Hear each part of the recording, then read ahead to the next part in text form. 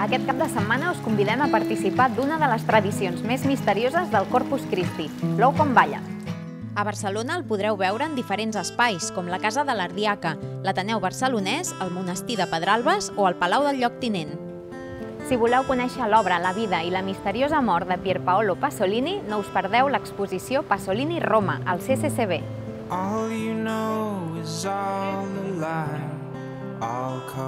La mostra explora com l'escriptor i cineasta va passar de viure en la misèria i arraconat per la seva homosexualitat a formar part dels cercles intel·lectuals i analitza el seu treball cinematogràfic i com a articulista. Després de gairebé tres mesos en cartell, Bona gent s'acomiada del Teatre Goya Codorniu.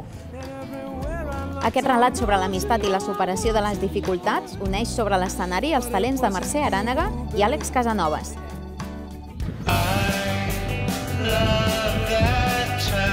I una de les cites imprescindibles de l'audiovisual és el Festival de Documentals Docs Barcelona.